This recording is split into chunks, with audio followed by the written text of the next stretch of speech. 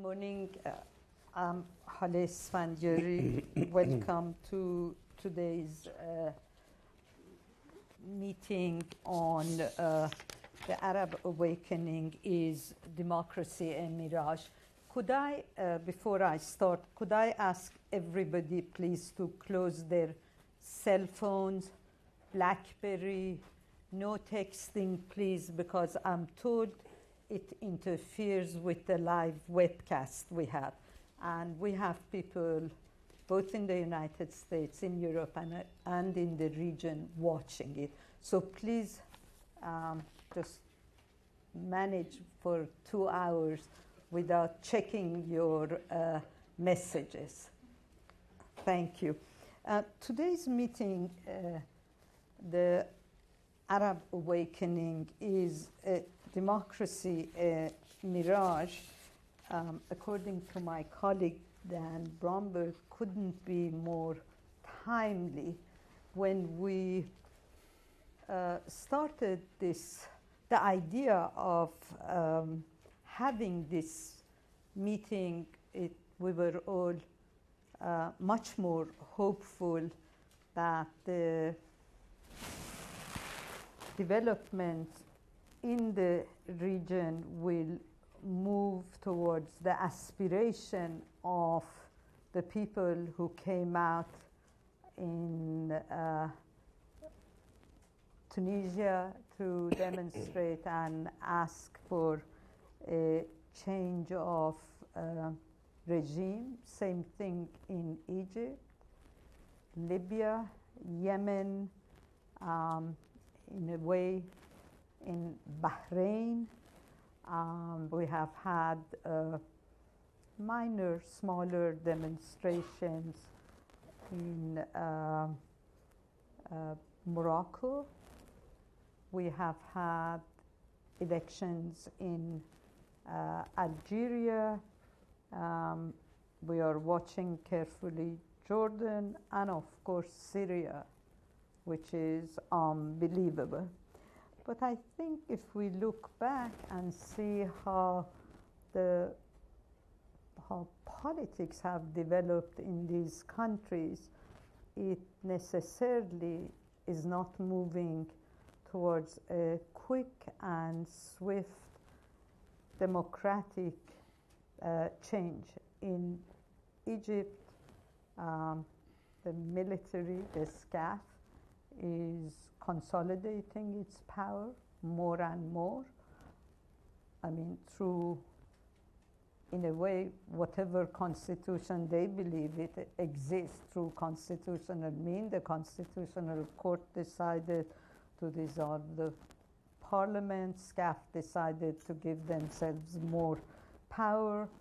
Uh, if you look at Tunisia, yes, they had a free elections for the for an assembly to draft the constitution, but they have horrendous economic problem, plus also this the recent developments between uh, the, the, fights between the Salafis and the Nahda and the secularists, and last week uh, curfew was imposed on eight Tunisian cities, including Tunis.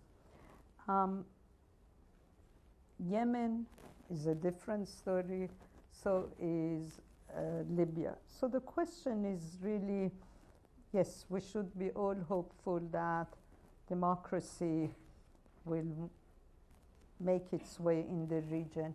But yes, we also know it's a process.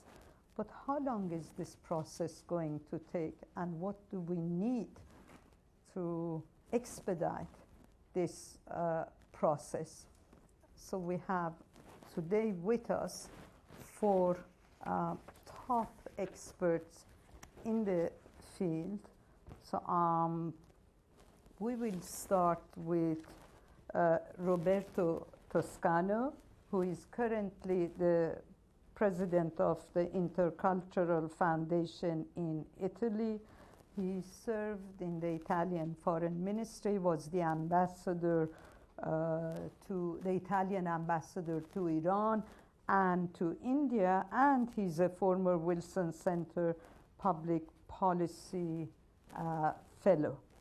Followed by Mushira Khattab, who is currently a public policy scholar at the Wilson Center. She is also a visiting professor on gender issues and human rights at Perugia University in Italy. And she is the former uh, Minister of Family and Population of Egypt, as well as Assistant Minister of Foreign Affairs.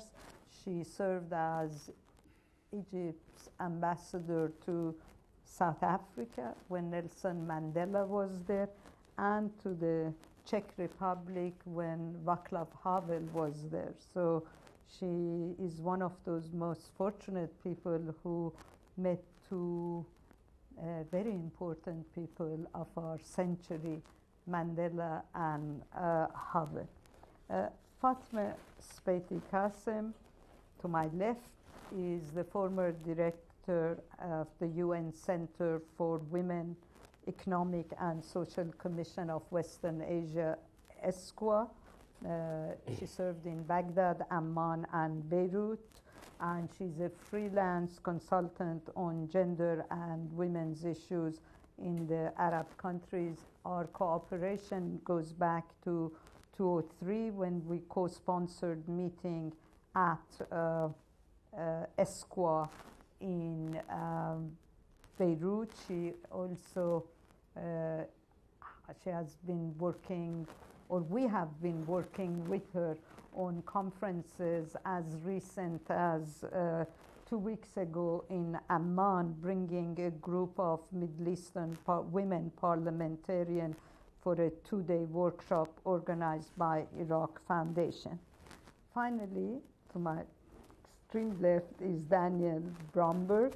He's the co-director of Democracy and Governance Studies at Georgetown University and senior advisor to the Center for Conflict Management at the United States Institute of Peace, where he focuses on democratization and reform in the Middle East and the wider Islamic uh, world. My, I told the speakers they each can have, uh, will have 15 minutes and not a minute longer. I really will use the prerogative of the chair to cut them off.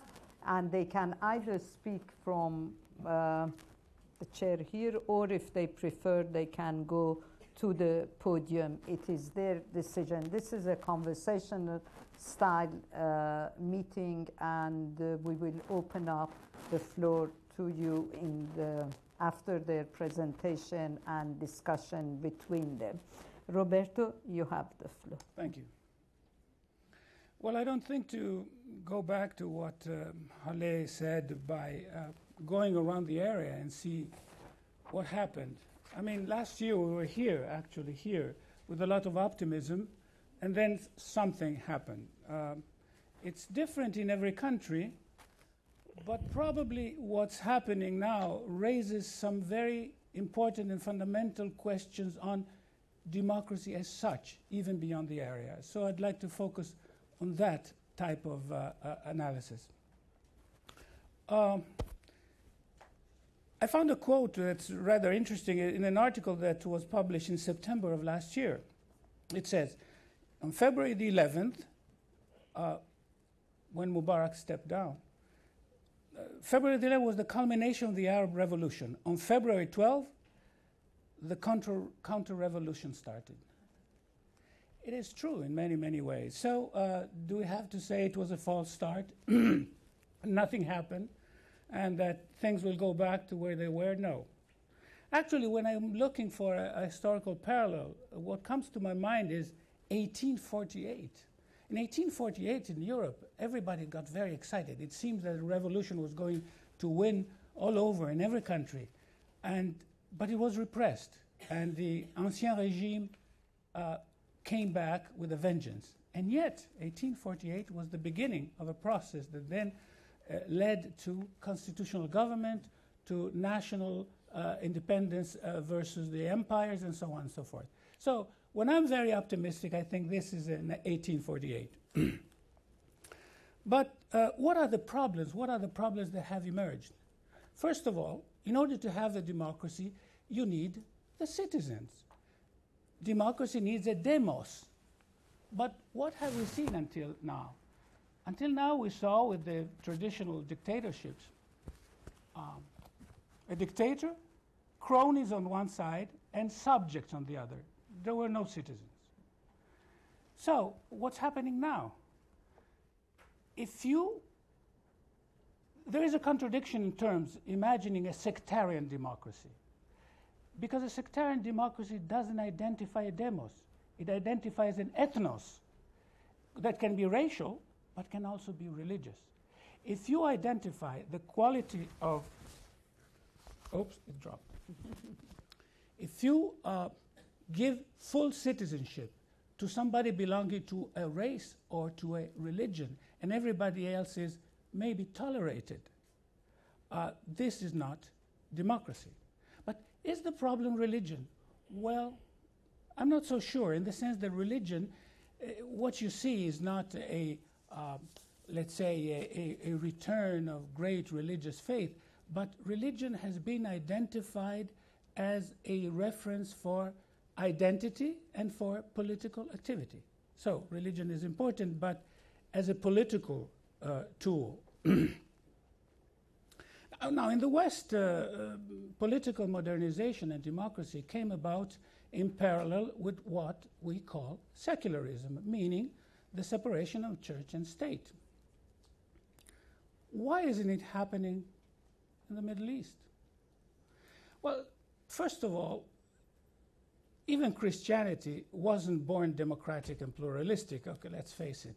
It took the Protestant Reformation, it took the growth of the uh, uh, strong nation state, and then eventually uh, religion accommodated itself with democracy, but it wasn't born democratic.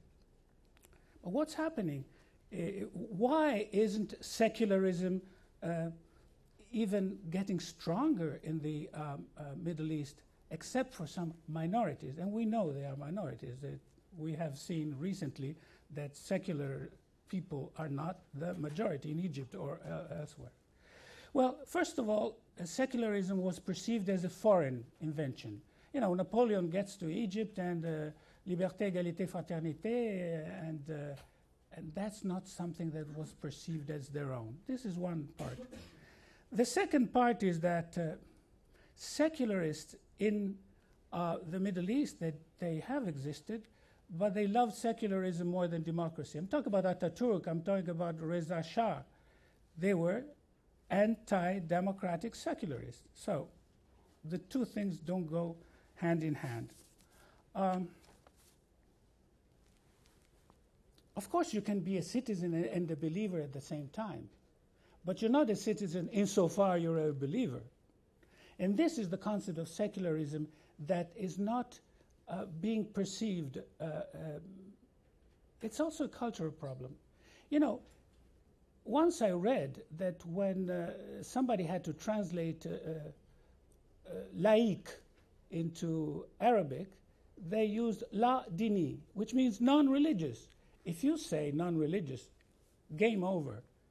In Europe, people are laïc and believers. It's, there is no problem. You can be a secular believer and a secular non believer. This concept, which is to us, uh, at least to us in Europe or in this country, uh, is uh, self evident. It's not self evident in the Arab countries. Mm. If you're laïc, it's, it's a soft way of saying you're atheist.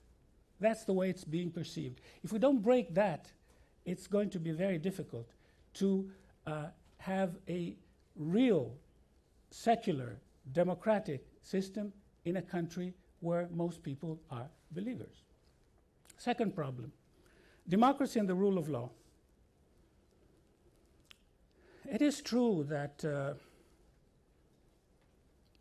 democracy uh, is not a universal reality, but it is a universal aspiration. But I think in the West we made a, a mistake. Uh, we forgot our own history. We pretend we were born democratic. You know, in, in some text, when, you, when we talk about democracy, we say the first democratic document is the Magna Carta of 1215. It was a pact between a sovereign and warlords. It was not democracy, but it was the beginning of some rules. So, historically, we became democratic after centuries of rules that were, were not democratic. They were oligarchic or monarchic, or, but the rules came before democracy.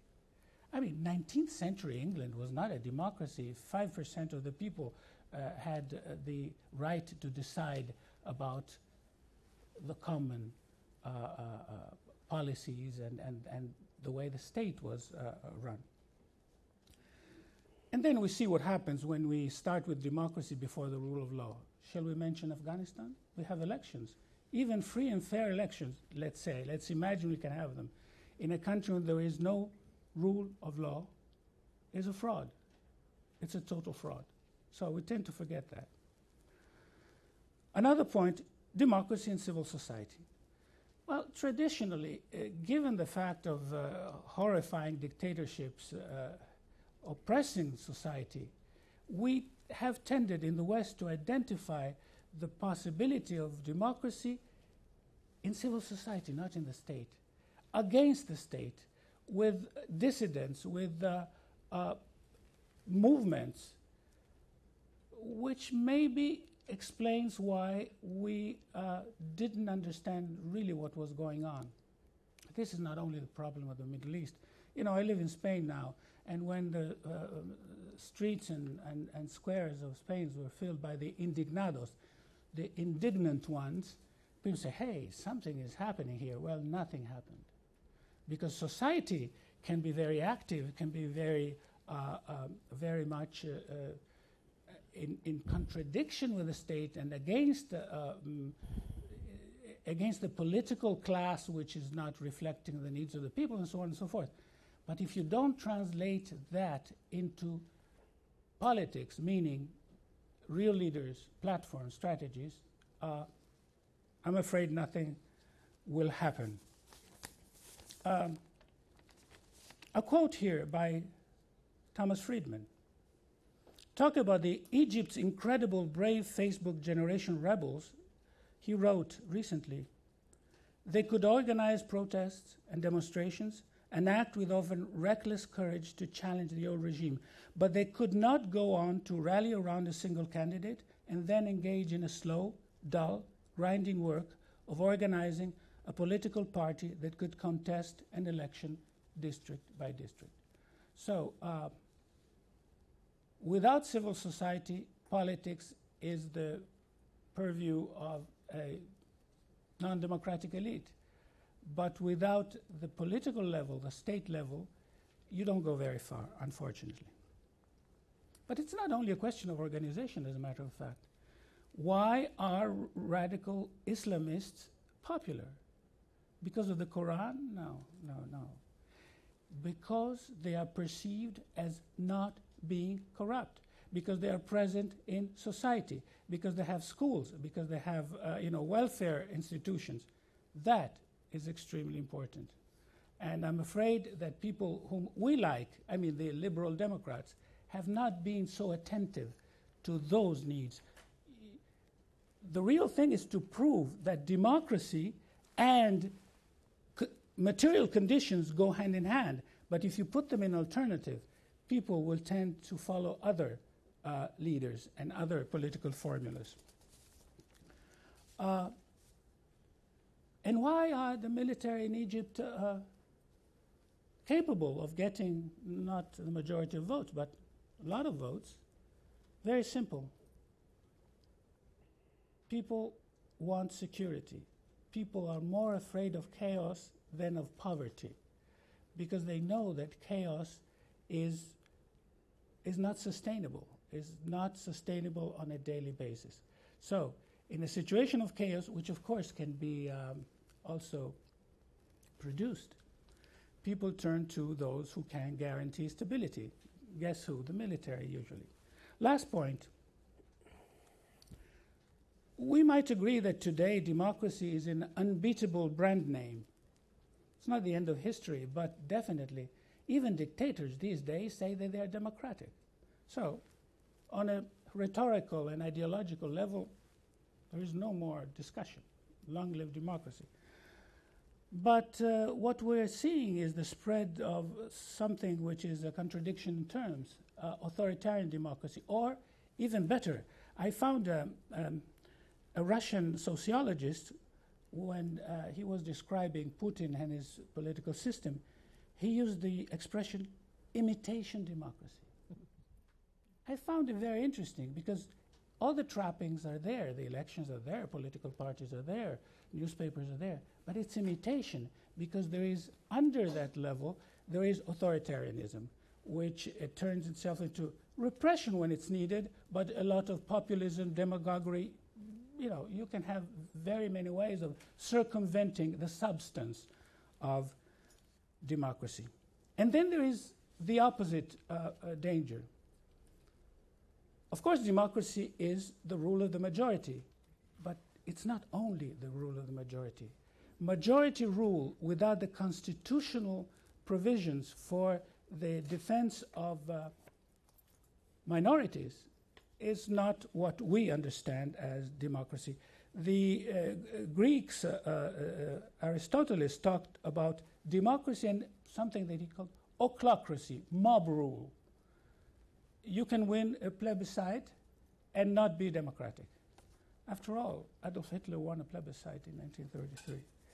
Um, so, at the end,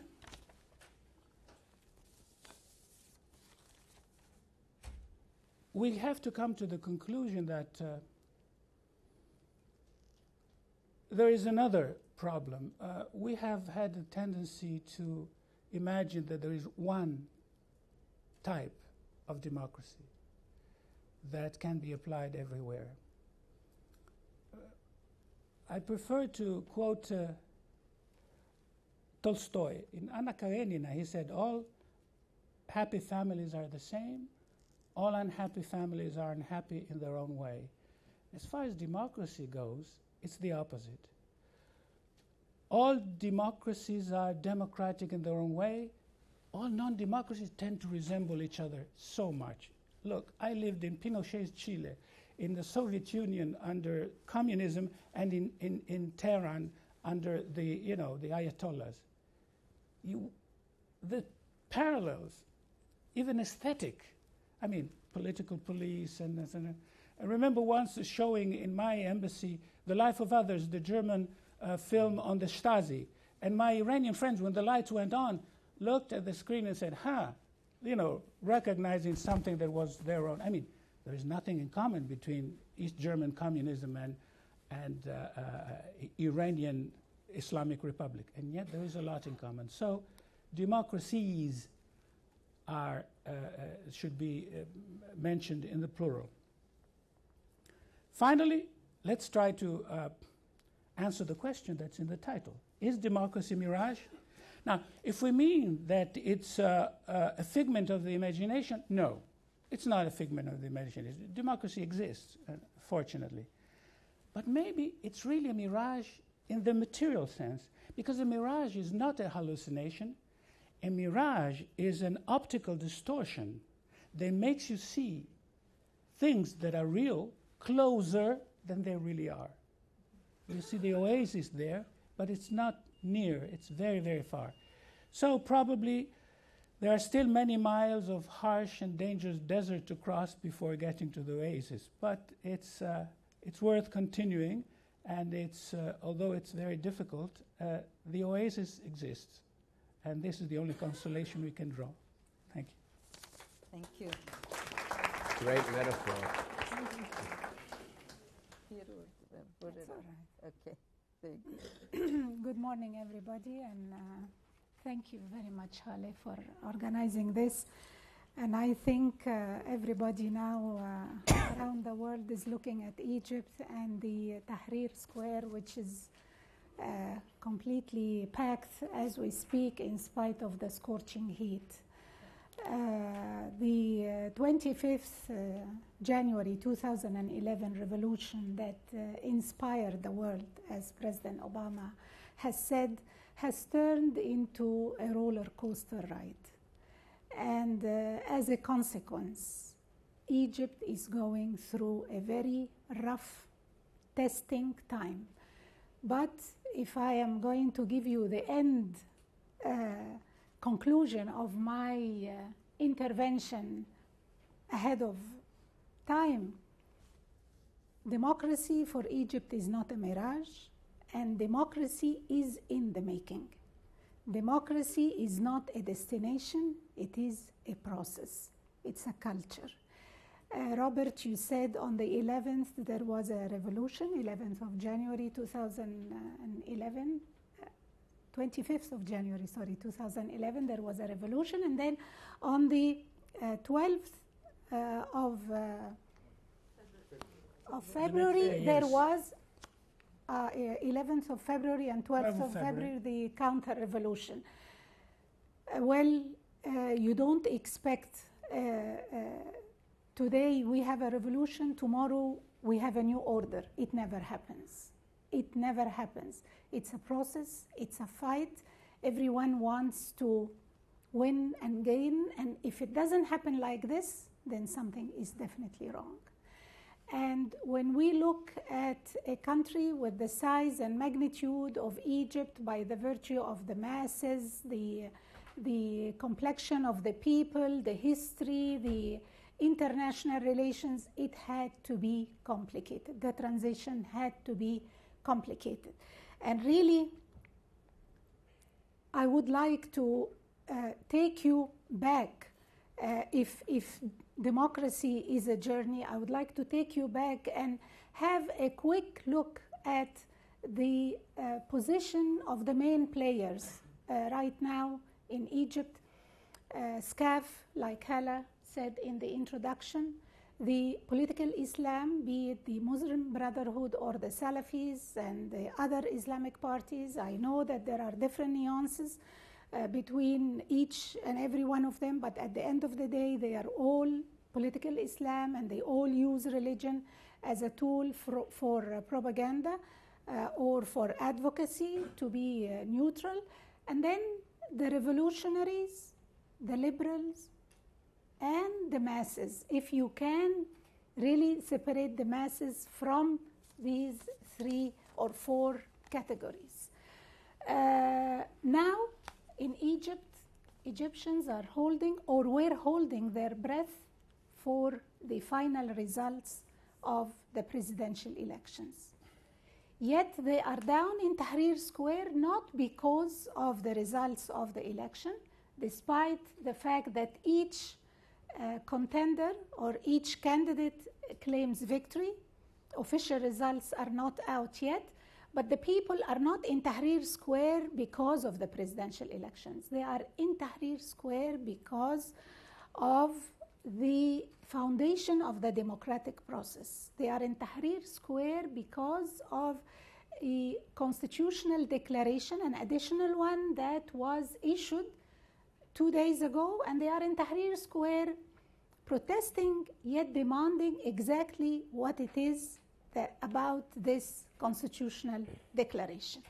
So, if I can uh, uh, take you uh, back and have a look at what's happening now, we can say that uh, when people took to Tahrir Square, they were all for a seemingly unattainable goal, which is the fall of Mubarak. When they attained this goal, there was some sort of days.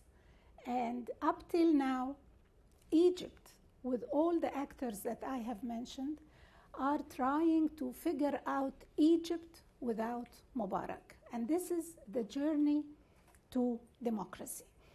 There has been many articles written uh, recently, especially yesterday and the day before yesterday, about the dangerous situation in Egypt, the collapse of the political system in Egypt, and, and, and all of this. I know it's worrying, but it's not really uh, unexpected. And uh, though it looks alarming, it carries many positive results or many positive uh, prospects for the future of Egypt. Uh, many articles spoke about constitutional disarray.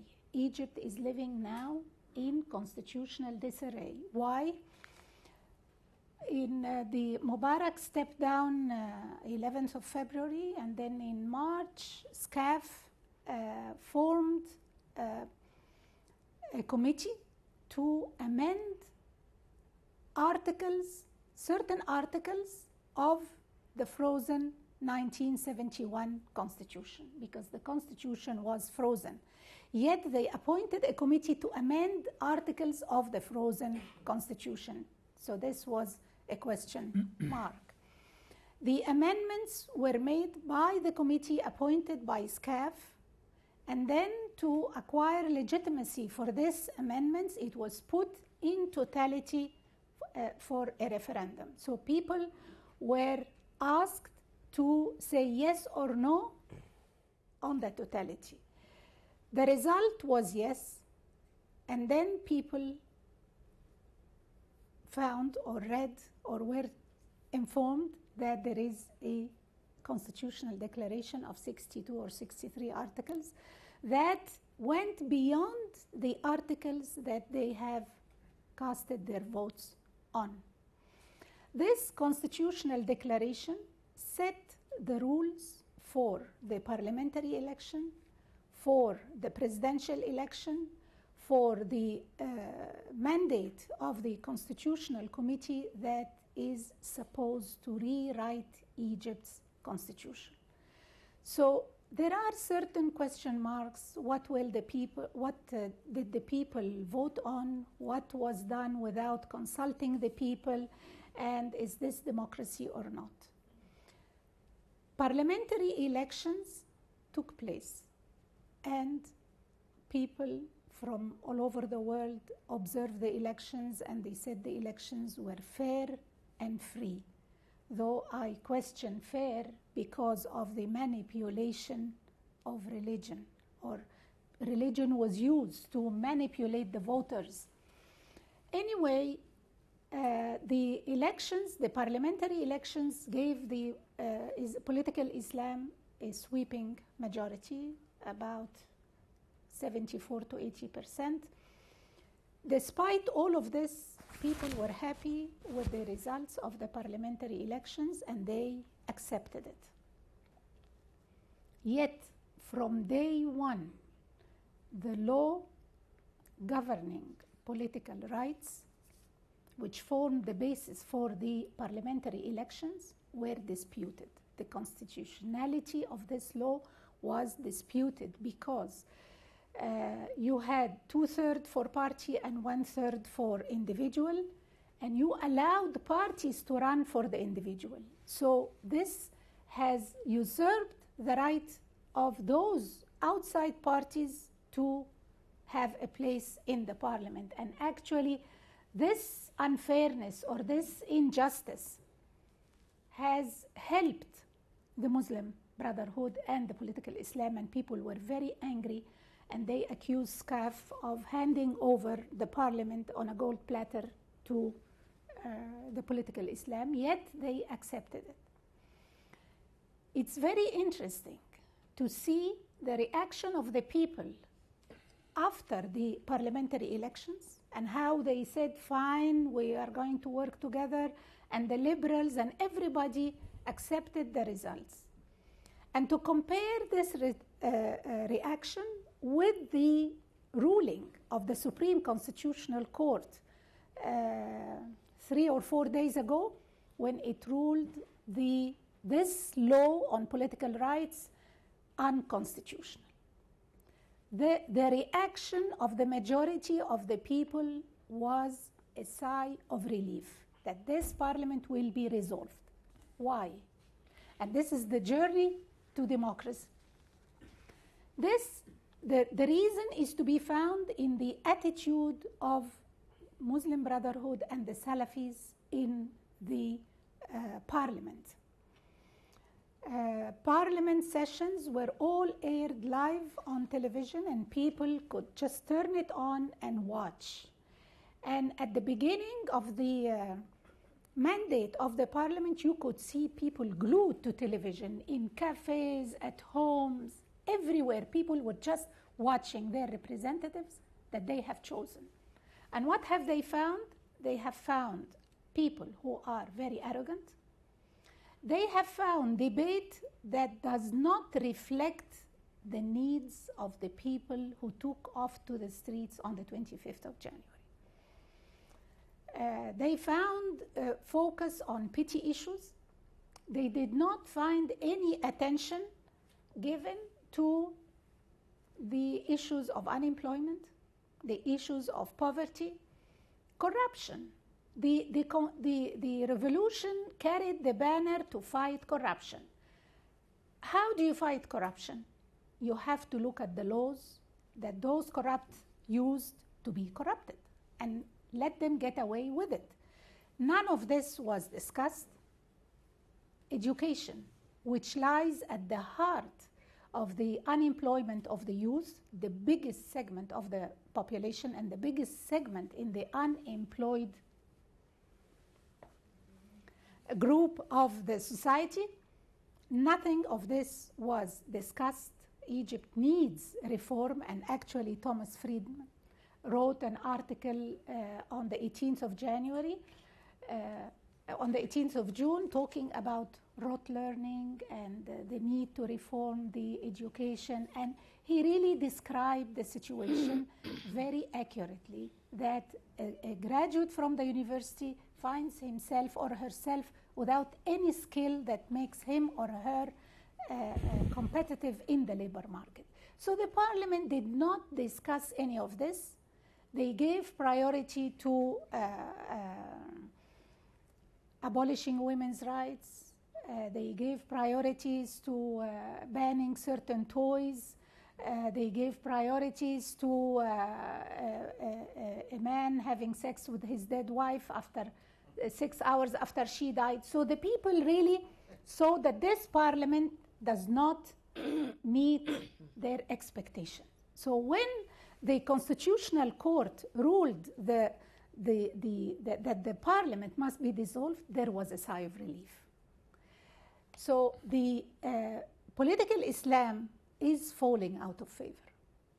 They are losing, and you can compare the number of votes they got in the parliamentary elections with the number of votes they got in the presidential elections. And right now, it's a very tight race very tight race.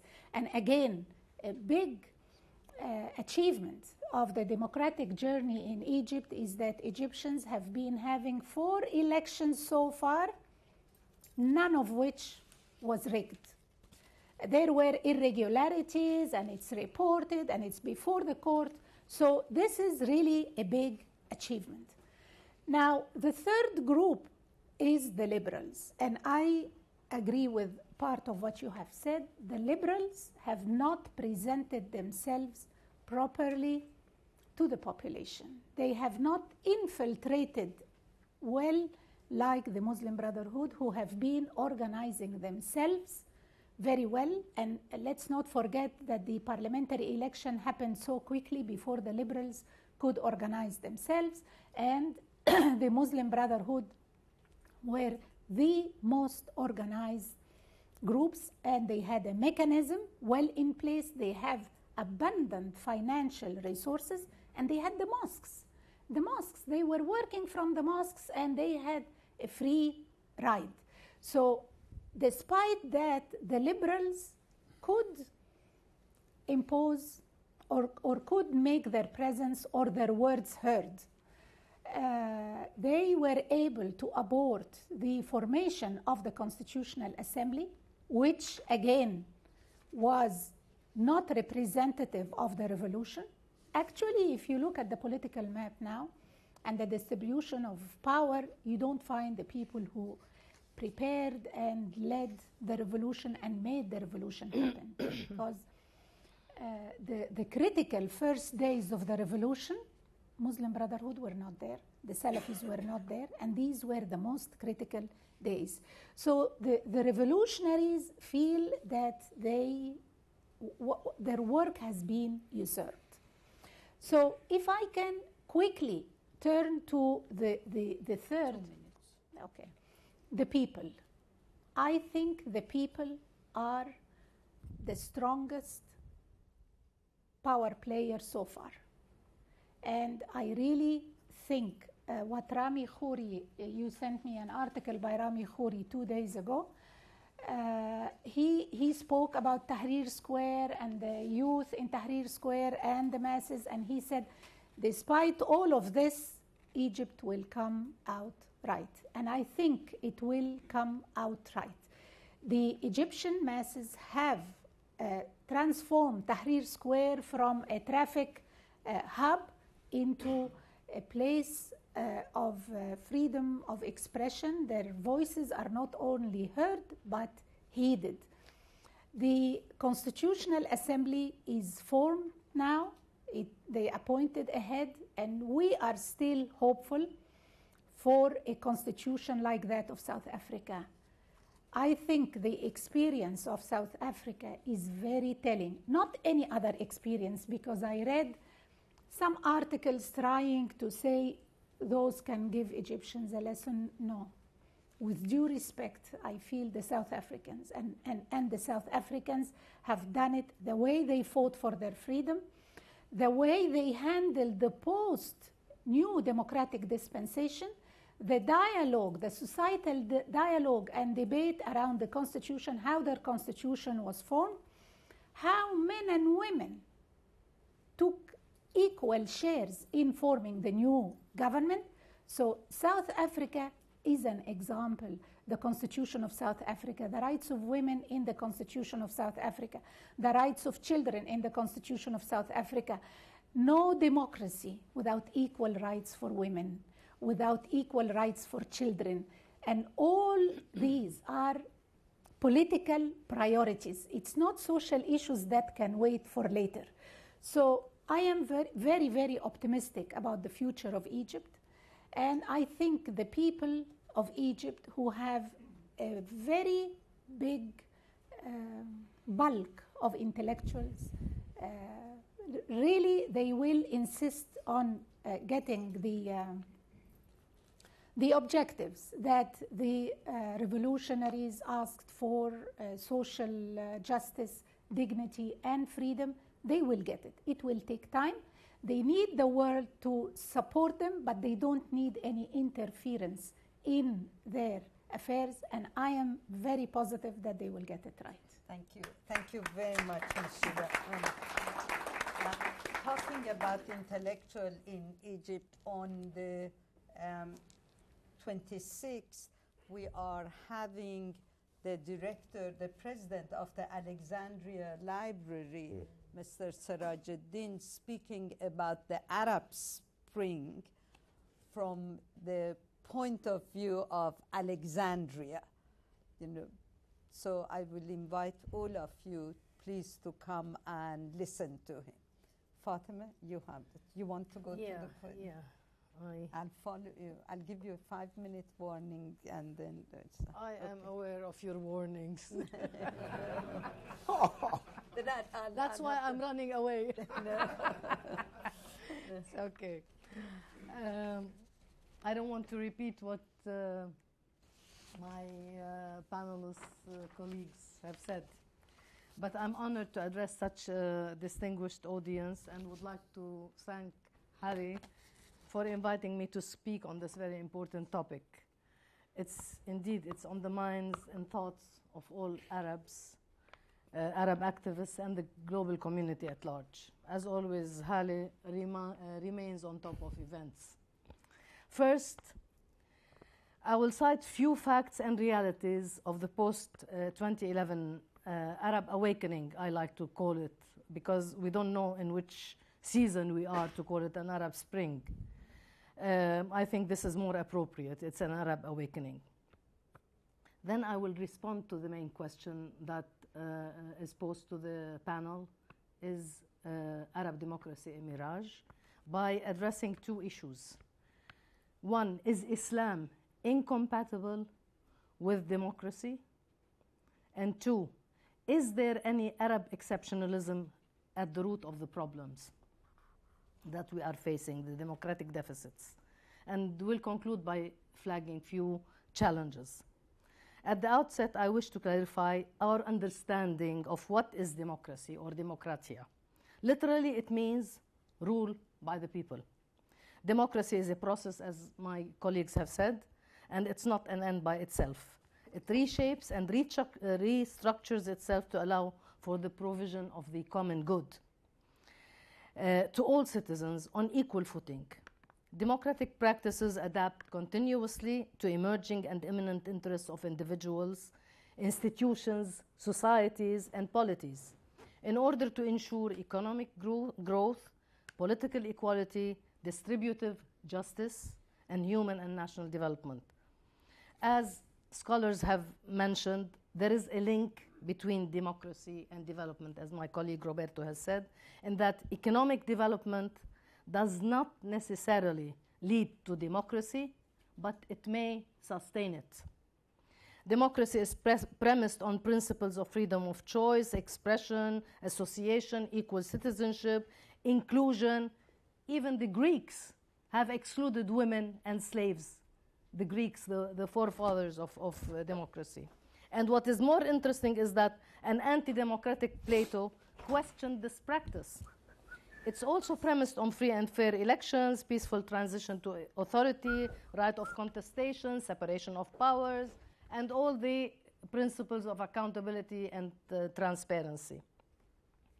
In a democracy, political inequalities among citizens are reduced to a minimum, and in terms of capacities and opportunities, so that effective participation is ensured via equitable distribution of economic resources, positions, opportunities, knowledge, information, and cognitive skills.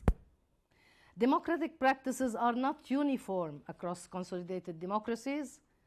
It's practiced differently in different countries with respect to a host of C's, which I call C's with a capital C choice, consensus, conflict management, communication, competition, consultation, citizenship, and courts, as in judiciary. The reality is that representative democracy and full equality remains elusive to our date. It's untenable in many so called fledgling and consolidated democracies. There's no perfect model of democracy. What are the facts and realities in the Arab world? Uh, in the first Arab Human Development Report, published in 1991 by UNDP, United Nations Development Programme, it highlighted three main deficits in the Arab world freedom, knowledge, and women's empowerment. So, the Arab awakening should not come as a surprise to us. We have been alerted, but human beings have short and selective memories. The Arab activists, young and old, they did not, they, they, in the freedom squares, they called for freedom, dignity, political equality, and social justice. They did not call for Islamization of the countries. They did not call for gender equality. They were calling for dignity. Dignity, that's what they were calling for. These popular social movements and revolts proceeded without planning, organization, and designated leadership. Further, I'm talking about the, uh, the third actors, the, the, the masses, the liberals, the activists, what, what I call the activists. The uprisings were not guided by any ideals or ideology, or they did not have any political platforms.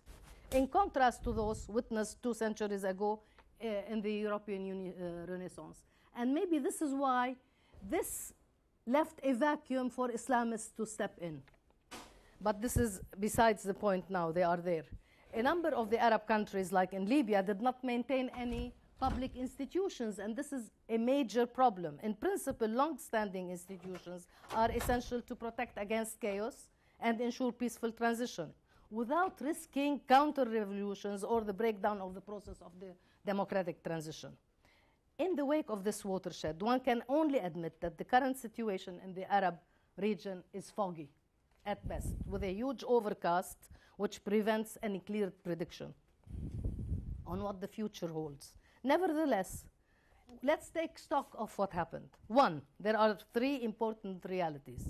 The transition in the Arab countries is irreversible. The wall of fear from despotic rulers and repressive regimes is forever broken. The voiceless are vocal. The toppling of despots speaks volumes, and I argue that this raised the fears of even the other autocrats in the region.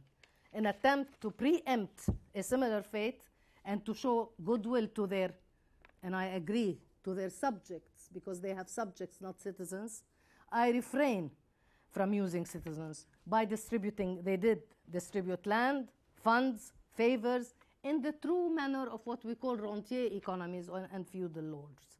In order to force their subjects into submission, as some political observers predict, uh, predict regimes will have to, to resort to what we call genocide. Think Libya and Syria. Two, the second reality the road to, to democracy is bumpy, thorny, winding, and long. Nevertheless, this should not and will not dissuade the people from pursuing their strive for equal rights and citizenship. The people's aspirations for change and reform will not wane.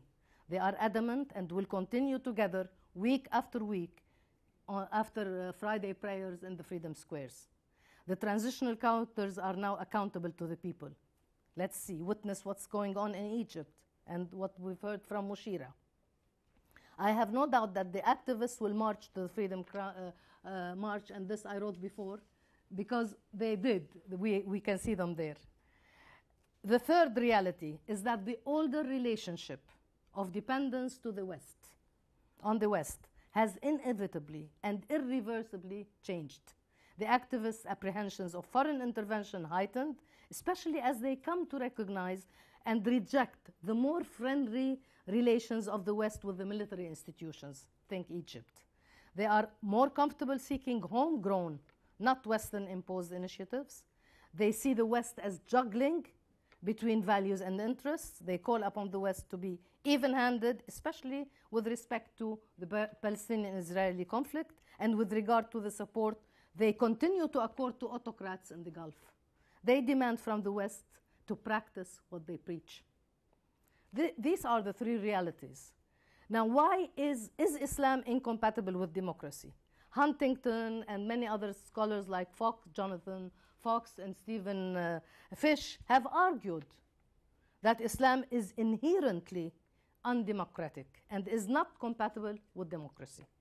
They provide empirical evidence of the prevalence of democratic deficits in most of the Arab countries and some of the non Arab Muslim majority countries. And they go ahead and say that some world religions, and we all know that Catholicism, Islam, Hinduism, Buddhism, Buddhism, and Judaism are, at least in some ways, particularly hostile towards women. Fish especially maintains, and he takes this as an indicator of the uh, incompatibility of, of democracy with Islam, at the station of women li- links Islam to the democratic deficits. Uh, the observed pattern is inherently discriminatory, and non democratic practices are manifested in these countries, meaning the Arab and non Arab Muslim countries. Uh, he argues that this is behind the substandard uh, status of women. However, the differentiation by religious family suggests that different religions have different consequences for female empowerment.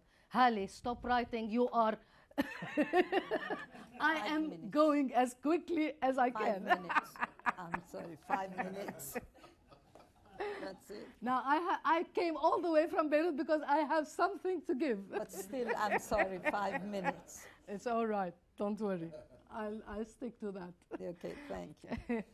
that that differentiate that religious families suggest that different religions have different consequences on female empowerment and leadership and that even the influence of the same religion on women is not uniform or a constant now if we look at female because this is their argument at female representation you will see that the pattern is correct but you will see that there are overachievers and underachievers among democracies. But you will see that the pattern that democracies have the highest rate of female representation in their parliament, and autocracies have the lowest. But there are overachievers and underachievers, which means that this, the, the, the uh, using political regimes as an explanation does not uh, uh, calls for another explanation.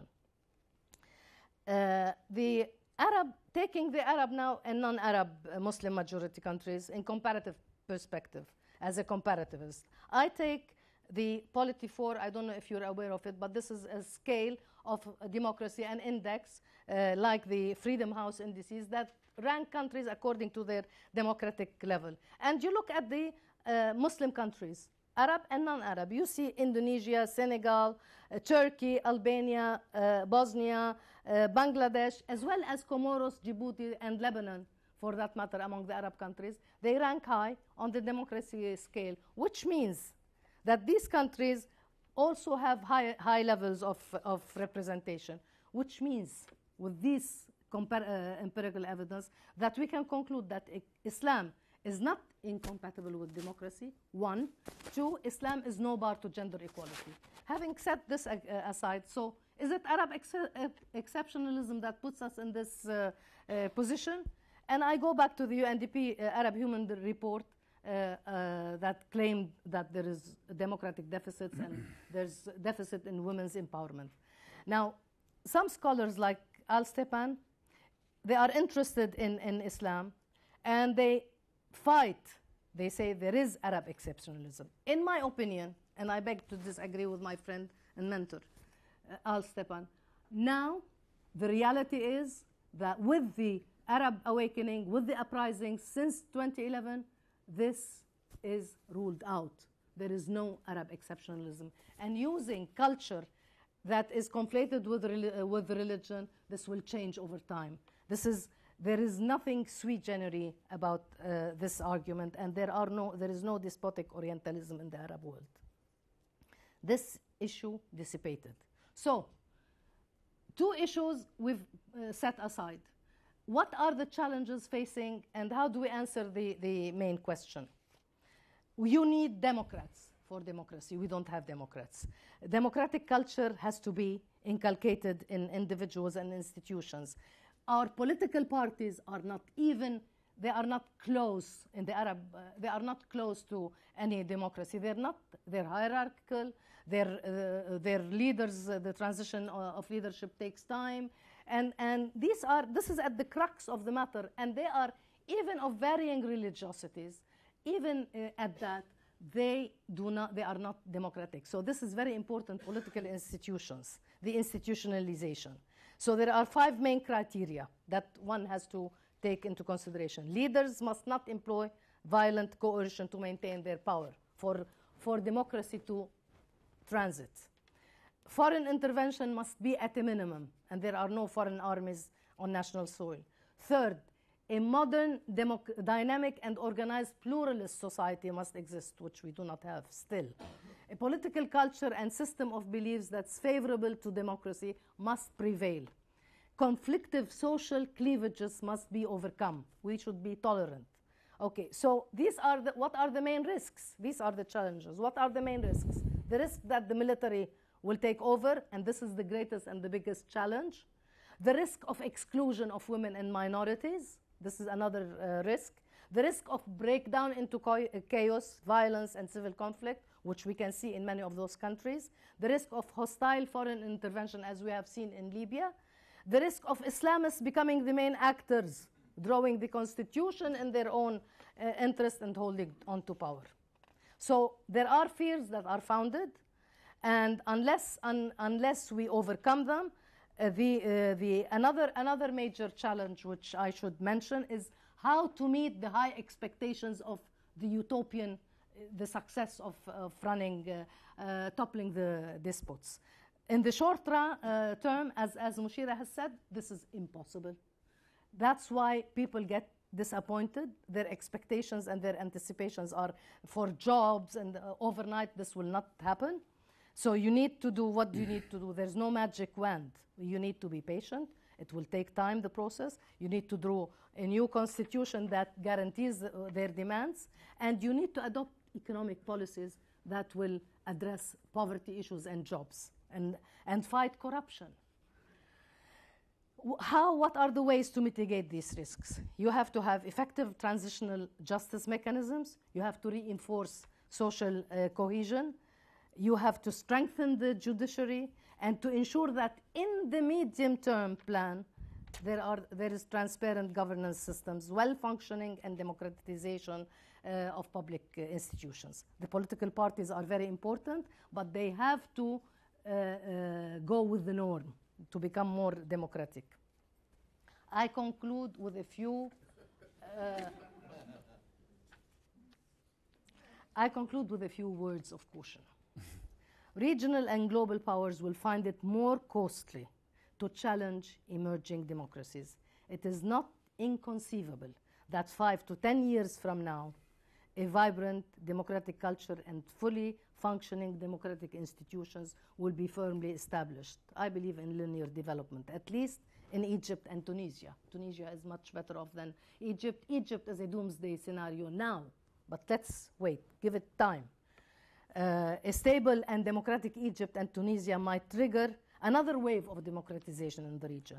The second, in the next round, there will not be no hasty fleeing despots and lifelong rulers. Regimes will either willingly reform or preempt change, or they will viciously fight back to smother the first signs of protests. Three, as Arabs reinvest themselves, their partners and supporters in the West will have to revisit their foreign affairs st- strategies and policies towards a more even handed approach vis a vis the Arabs.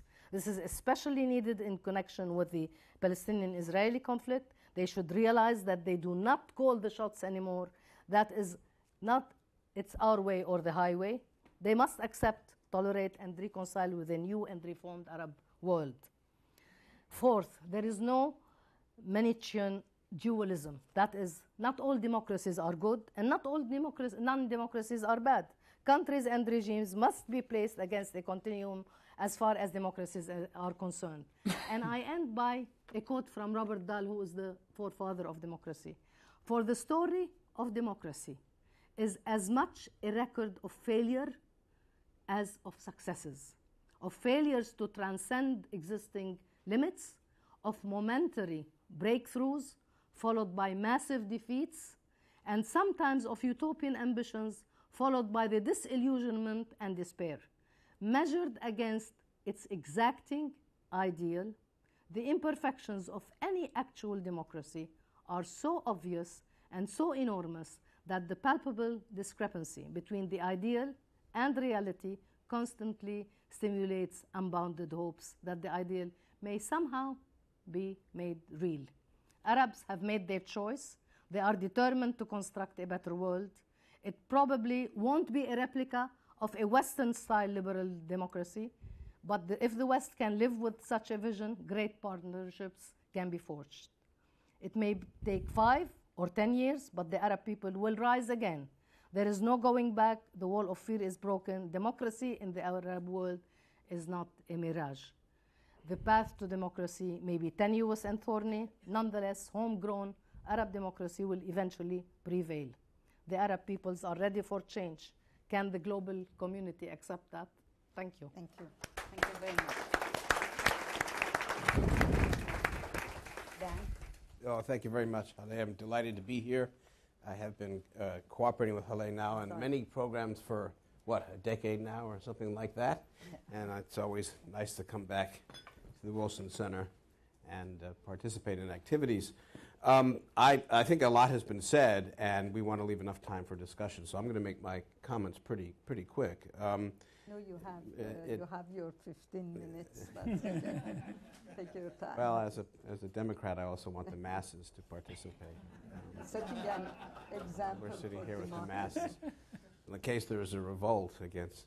Um, the, uh, it was said quite, uh, quite correctly that uh, one, one fact that the uh, Arab awakening demonstrates is that this wall of fear between states, regimes, despots, and populations has definitely been broken. And uh, I think that is absolutely the case. I think the, the bigger question that is, is, is um, that has to be asked now in the wake of all these changes is whether the wall of fear within the walls, the various walls of fear within the societies have been broken. Yeah.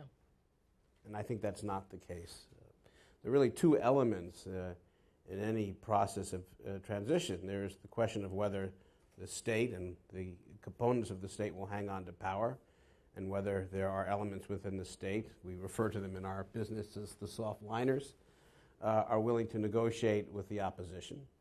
Uh, in the context of a state and a regime that is uh, determined to stay on, in the context in the, of a of a uh, uh, in a situation where there are really no very significant splits uh, within the regime itself, um, a determined state can hold on to power for an awful long time, even when it's lost uh, legitimacy. And certainly, the Egyptian state lost legitimacy, the regime, long time ago before this revolt uh, took place.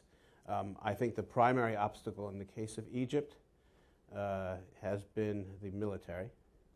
And when we talk about the military, we're talking not about a small apparatus, but when you total up the security and military apparatus, five, six hundred thousand plus families, those are millions of people whose interests are closely attached to defending.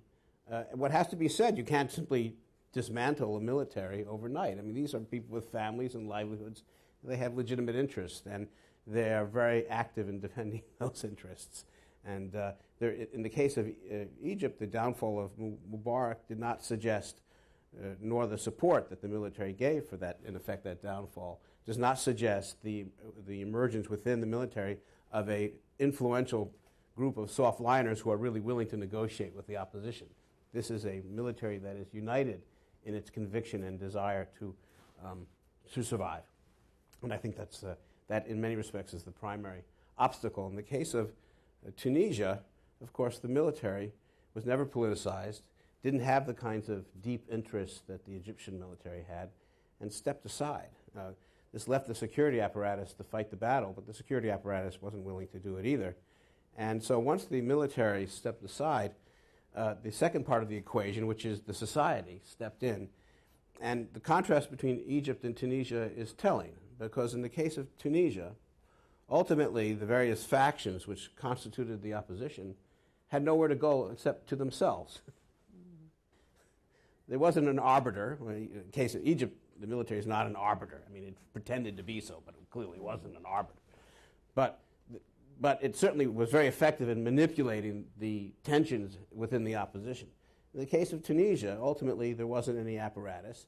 And not only was not, there was no apparatus to manipulate those tensions, uh, but uh, there had been an effort several years before um, the, uh, the first a- Arab revolt that we're talking about now started in Tunisia. There had been an effort several years before of Islamists and non Islamists to hammer out a political pact among themselves. Uh, Al Stepan talks about this in his work. We, we know, those who pursued work on Tunisia know that this effort to, at, bid, at, at, building bridges was very important and was renewed, uh, again, in the absence of a military willing to manipulate those fears. So, really, they've had to work it out themselves. And uh, while the rise of Salafists in uh, Tunisia has certainly posed a huge challenge, here is Ghannouchi and the Nahda Party uh, basically comp- compelled to, to, clamp down on an Islamist opposition. The, the irony is telling, isn't it? Uh, but nevertheless, uh, you have a, a, government, a cabinet, a troika of Islamists and non Islamists. I prefer the term non Islamist to secularists because I think the term secularist is misleading in, in the context we're talking about. Um, that has really, and what has that alliance done? It's essentially tried to overcome the walls of fear within the opposition that I was talking about before. Um, now, that has not, those walls are very significant because in the case of uh, Tunisia, it's not really a question of Islam and democracy. I mean, it's a, it's a, it's a Sunni Muslim country, um, uh, no real minority, very small Jewish minority, but it's culturally, you could say religiously, not culturally, united, but ideologically very divided. divided in terms of is Tunisia part of the Mediterranean, Europe? Do we speak French? Do we speak Arabic? Um, it's a civilizational divide uh, that isn't necessarily a, simply a question of the so called uh, uh, uh, uh, reinterpretation of Islam for democracy and so on. It's a much deeper sort of division. But nevertheless, what's remarkable is the readiness of Ghannouchi and the Nahda Party to sort of really uh, address that division. Uh, and the transformation that took place within the Nahda Party in the last decade, in part because many of its leaders were overseas and they sat down, and I've interviewed many of them, and it's quite remarkable the sort of transformation, the rethinking that went through. They've come back and now they're wrestling with this, this increasingly um, violent Salafist movement, which is really, in the case of Tunisia, a jihadist movement. Uh, it's different from the Salafists in, many respects. They, they, they're, they're, ideologically closer to Al Qaeda in so many ways. They're, so much of what you hear from the Salafists in, in Tunisia is a kind of radical agenda that uh, goes beyond the kind of initially apoliticism of the Salafists in Egypt. They're somewhat different sort of uh, movement. But in any case, uh, it's, it's there the wall of fear is re- reemerging, in part because of the Salafists and the, now the reemergence of polarization between uh, the Islamists and the non Islamists. We've all read about this. Um, but nevertheless, my, I'm quite optimistic. And this is the contrast with the case of Egypt. In the case of Egypt, um, apart from the obvious challenge of the military, uh, are the deep divisions within the opposition that have operated from the very beginning.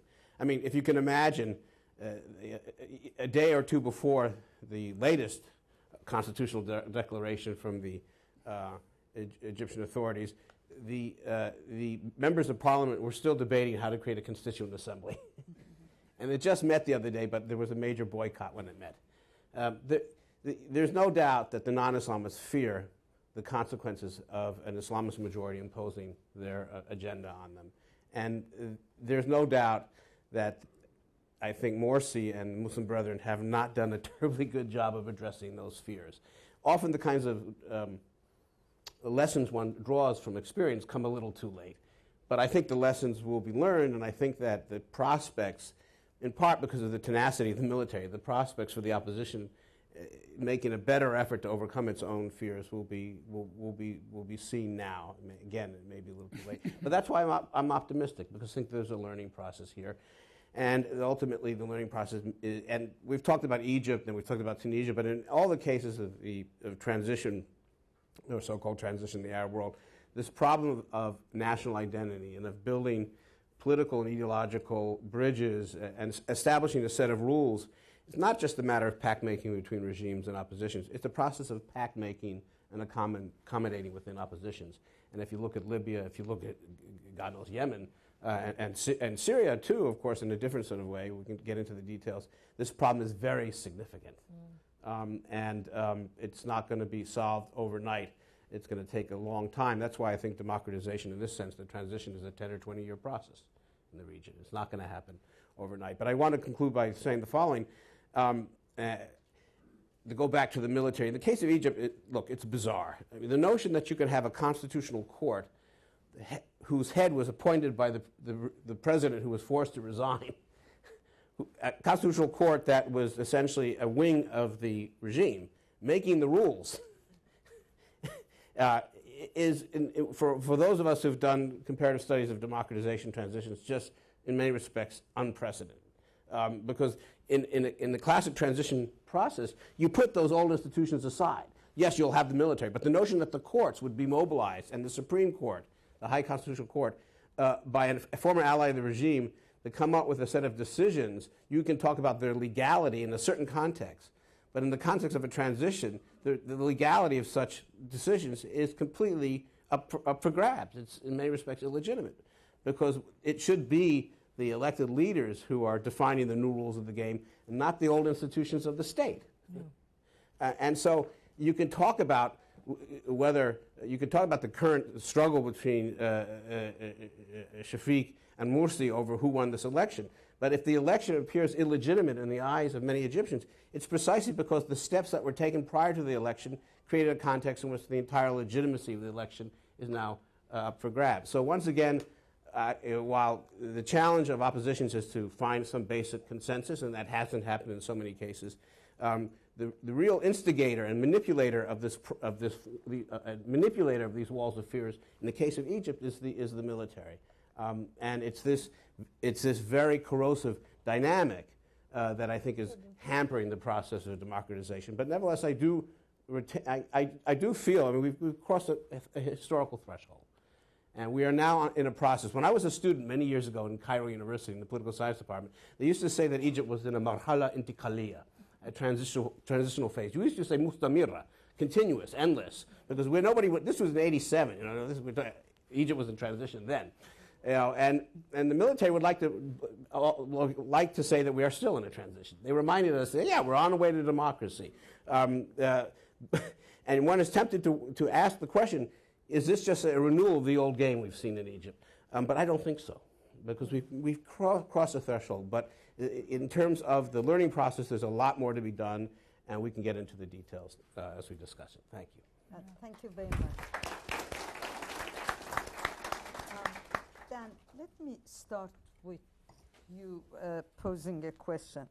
Uh, Latin America, some countries in Latin America, succeeded with this transition from authoritarianism to democracy in a much shorter period.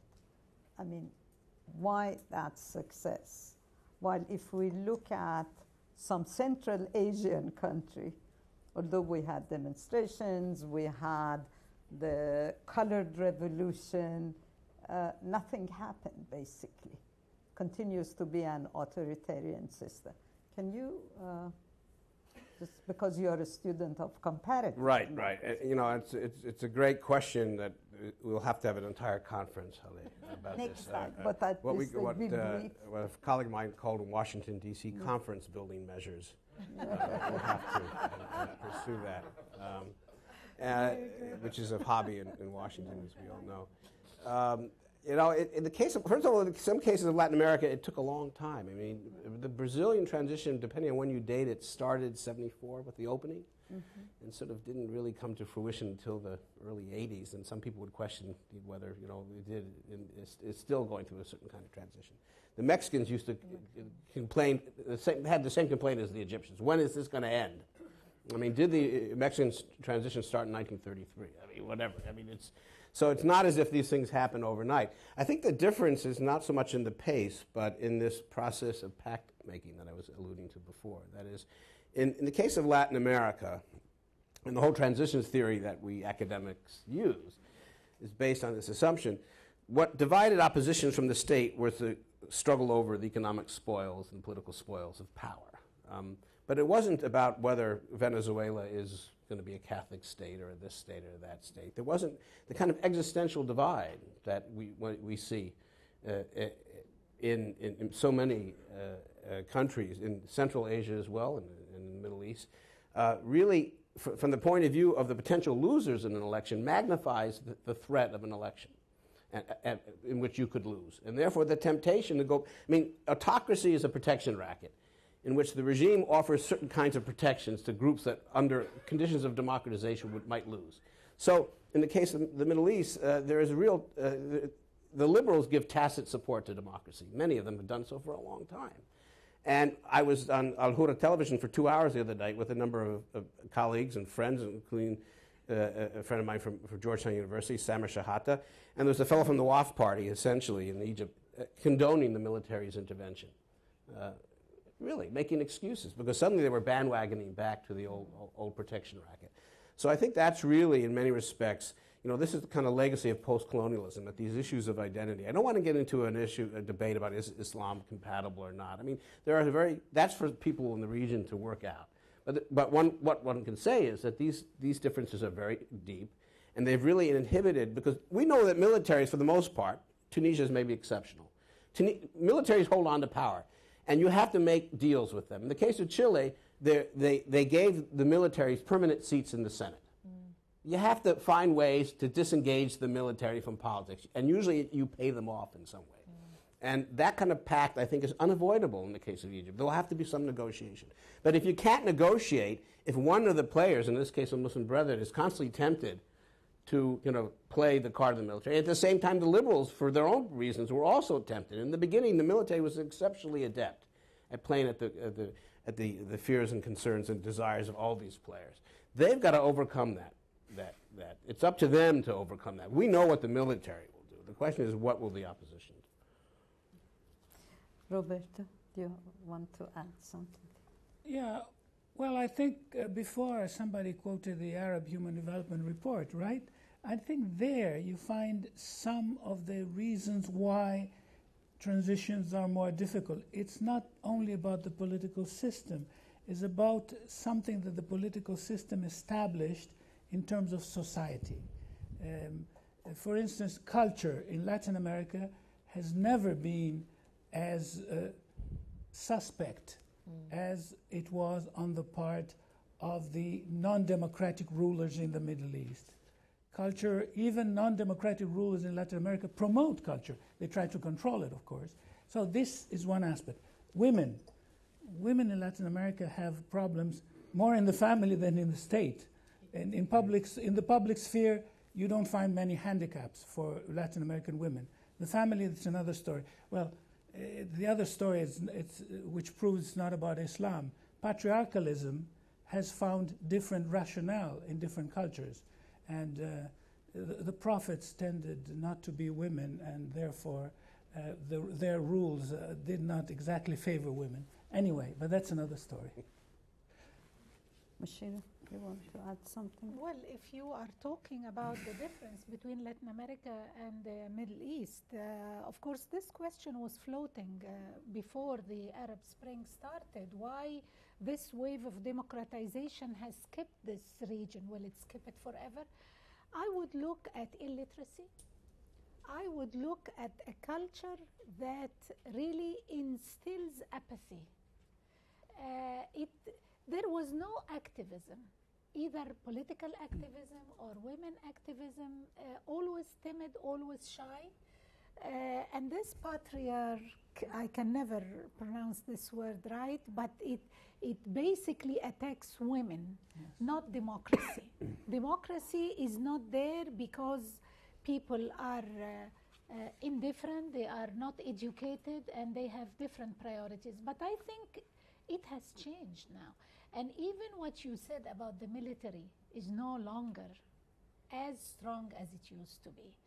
Uh, remember, the military had put the date end of the year, and then the, the masses in the square pushed, and then it went to June, and now we have elections, and That's true. The, it's the pushed back. It's pushed back by the masses. That's why I say the beauty of the uh, uh, Egyptian uh, revolution and the Tunisian revolutions, they are self-made mm. by the people. Mm. They are made at home without any foreign intervention. Mm. So people realize now their power and they will not accept it. They went to the square, millions now, not because of the presidential elections, but because of the recent constitutional declaration. And there was reports that the military had appointed a chief chamberlain.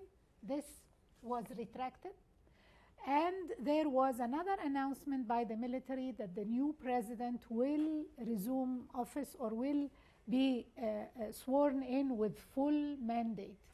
So you have the original constitutional declaration, and the, the contest now is with the new amendment, which I think maybe we will not be surprised to see it retracted a few days from now especially that nobody really knows the content. We haven't seen it in black and white. And maybe this was a test balloon to see mm-hmm. how the people will react. So I am, I am very optimistic that the people have made their stand uh, uh, clear. What's also interesting is to, you're right about the division between the opposition, but it's also interesting to watch the language used by the liberals or the non Islamists right after the revolution. They said, No, we're not worried about political Islam. They are our brothers. We're all together. Now, the concern is very, very high. Yes, indeed. Very, very high. And the proof is the decline in the number of votes that political Islam uh, gets. And Shafiq, the prime minister of uh, the, the former prime minister is on par now between uh, uh, 51 uh, Morsi and 48 Shafiq. Some people say Shafiq is leading, and this tells you the, the, the shift in the masses. The masses started to see uh, the, the, the worry in the language, in the performance of political Islam, and they want to make things right. And also, something very interesting to watch the softening of the language of the Salafis, of the Muslim Brotherhood, mm. under pressure from the liberals, despite the fact that the liberals are the minority, they're divided, they don't have as much popular support as the, the, the Islamists. So I am optimistic that maybe, maybe we will not see the scenario of Iran because the liberals will have the masses behind them, and this may, because what happens in Egypt sets the tone for the entire region. And uh, you should look at the region in its totality. It's political Islam rising, it's an Islamic spring. This is very uh, obvious. But the people, and, and, and that's why people are, will be impatient with the military as they have been impatient with the Islamists. Five months in the parliament or six months in the parliament, and they've lost a lot of credibility because they focused on they didn't really represent the revolution, though they claim that they represent the revolution. You could see on television, uh, local television, uh, the youth of, uh, of the revolution saying, well, the Muslim Brotherhood, the Salafis do not represent the revolution. They were not with us when we went down to the street at the beginning. And these were the most crucial Yeah. days. So maybe the traditional moderate face of Egypt will be preserved. We hope. We should remember that in the case of Iran, when millions of people came out and uh, asked for the abolition of the monarchy, the slogan was independence, freedom, Islamic Republic. Yeah. So we should, while in none of the Arab countries, this sentence of Islamic Republic or Islam was part of the demand of the people. Definitely. And the first referendum, which gave the choice between the Islamic and Islamic Republic or the old regime, a majority, I mean, let's say over 90% of the people, without knowing what an Islamic Republic mm. entailed, voted for an Islamic Republic. Mm, mm. And then, over the last three decades, they were facing with the realities. And in 2009, when people came out into the street, they were protesting the rigging of the elections. They just asked, Where is my vote? Neither the opposition leader nor the people wanted a fundamental change of regime. It happened maybe over the 10 days that the protest movement uh, lasted, and after they saw the clampdown of the demonstrators, the atrocities that one heard were committed. So I think this is also a very big difference between Iran. But then there is also the problem of a constitution. I mean, the problem in Iran is that the Islamic Republic doesn't even adhere to its own constitution. If they did, at least to that, no matter how limited the freedom is in that constitution, they do not adhere to that. Fatima, any comment on what? Yeah, I. I mean, I, I agree with the- all what uh, my colleagues have said. Uh, I have uh, few additions of differences between what's going on and what has gone on in Latin America or in other countries. The important thing is political parties that are missing in this part of the world. And political parties are the ones that uh, get the interests together. And even if they exist, they are either sectarian or they are they're, uh, they're uh, uh, ad- address one uh, group of people. So this is one thing. The, the political institutions are not solid. They are not long-standing in in uh, political terms, and the um, there's another difference which is important and has been studied. What path democracy takes? Do, does it take after the, the uprisings? Uh, do they go through parliamentary or presidential uh, system or a constitutional system? These differences are still uh, very apparent between the, the Latin American experience and our experience and the Arab experience. And then the other thing is we don't have a strong civil society and this is the, the part of the what we call the social cleavages that it breaks as, as, as dan has said it breaks the society there are you know you look at the society and you see in each country you know their, their, uh, the social cleavages are conflict producing so this is another uh, problem that needs to be addressed and makes a difference. The culture, as, as, uh, as we said, is not a problem in them. In, uh, in, in the Arab countries, they often conflate political culture with religion. And you don't know if FGM is, is mandated in the, uh, in the Quran or it's, it's tradition. You see, this is, these are the, the, the basic issues. Um, we're opening the floor to, uh, to you, Mark, and then, yeah. Just wait for the mic and identify yourself. Thank, Thank you. you. Mark Katz from George Mason University. Uh, we heard about a comparison, uh, the Arab Spring with Latin America. I'd like to ask if there is a possible comparison with Russia. You know, uh, with the downfall of the Soviet Union, there was tremendous hope. The liberals seem to be, you know, uh, in the forefront of this, very strong. But from the very beginning, the liberals fell out with one another, uh, failed to cohere in the 1990s, allowing for the return of the conservatives. And despite everything that's happened, this is still the case uh, that maybe what we've seen this past, you know, fall, you know, is uh, starting to be a rebound, but it's been a long, long time. Therefore, I'm, I'm, I'm a little bit surprised about the, the confidence that, that some of the speakers have indicated about the possibility that the uh, liberals in the Arab world are somehow, despite everything that's happened, going to get back together and play a leadership role when we've seen an example in Russia where we're still waiting for this to happen. Uh, your comments will be welcome. Thank you. Thank you, Roberto. Well, I, I, I, I don't share that confidence. Uh, and uh, Russia, uh, indeed, is a case in point. It, I mentioned the imitation democracy because this is something that we see in Russia, but probably we will we see it also in other places. For instance, let's take Turkey. In many ways, throughout the Arab world, they look at Turkey as a positive example. Mm. And I don't think, as uh, um, Turkish secularists uh, uh, fear that next year it will be like Iran. But next year it might be like Russia, in the sense that Erdogan is authoritarian.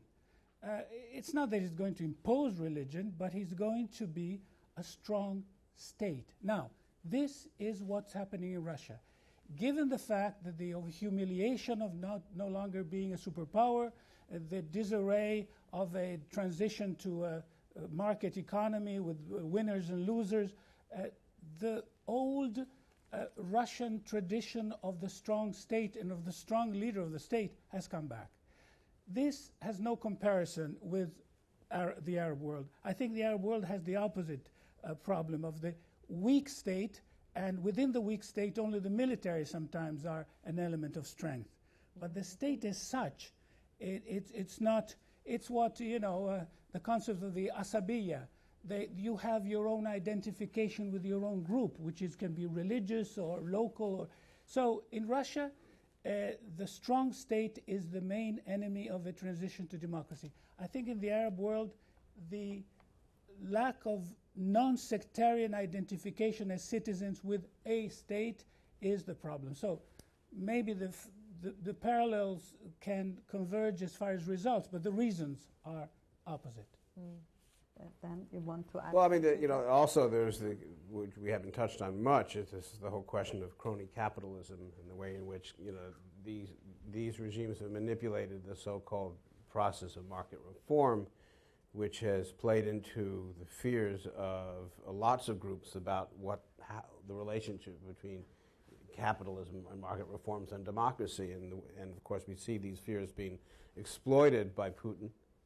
And we see these fears being exploited by the regime in Egypt. Uh, of course, from the point of view of the military, the kinds of economic reforms that were undertaken by Mubarak and his sons and his cronies were eating into their own economic base, and they had reasons to get rid of this particular problem, and um, therefore they probably didn't, in some respects, shed a lot of tears as a result of what had happened because they had their own economic agenda, and it was very much attached to a, a kind of rentier cronyism of its own.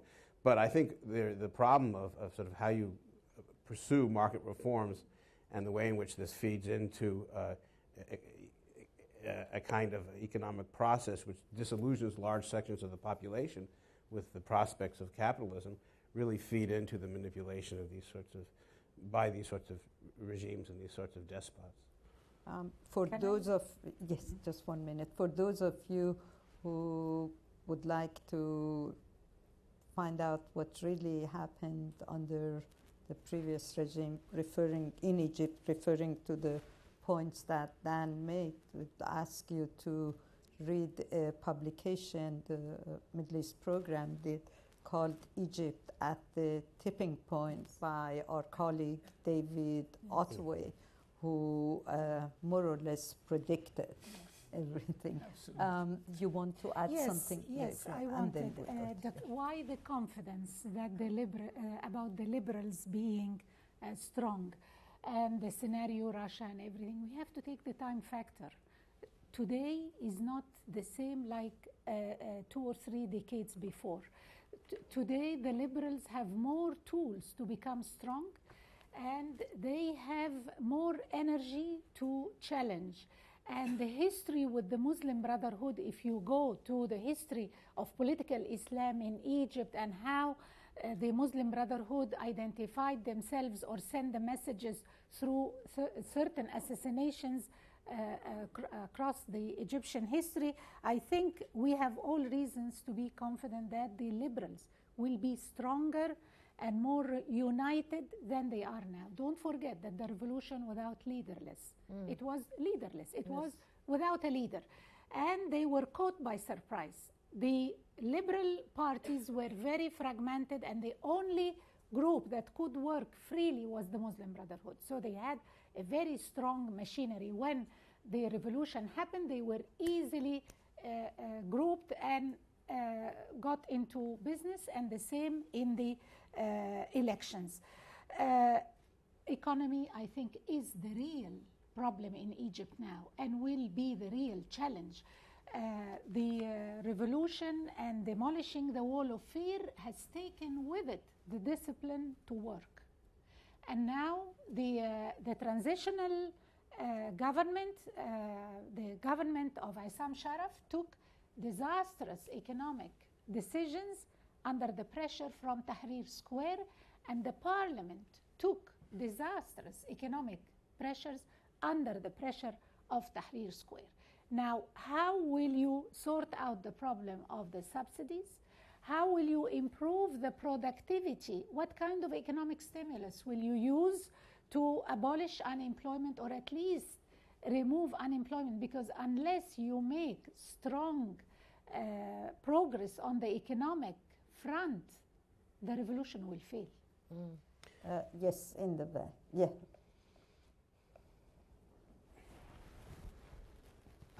My- name is Ahmed. I would like to ask about Saudi Arabia. A lot of people think that Saudi Arabia has played a counter-revolutionary role. It has uh, given extremely generous aid packages to its population to subdue them. It has crushed the rebellion in Bahrain and now um, is actively funding a lot of the Free Syrian Army in Syria, trying to prevent um, a lot of uh, reform in Morocco and Jordan and uh, supporting Hariri in Lebanon. Do you envision uh, Saudi Arabia as hijacking a lot of the um, revolutionary spirit in the Arab world? And do you envision Iran uh, uh, trying to repel some of the anti revolution of, of the ruling family of Saudi Arabia? One of the panelists should take this question. Well, I, I, you know, I think in the ca- case of Bahrain, it's obvious that the, you know, the, for the, the, the Saudi involvement is What did you say?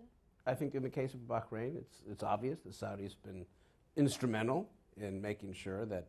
But I think it's easy to exaggerate the, uh, the uh, Saudi the Saudi influence as well. I think Um, the Middle East program, again, uh, I have to repeat, did uh, an article. You can read it on Saudi Arabia. It's on our website, again, by David Ottaway.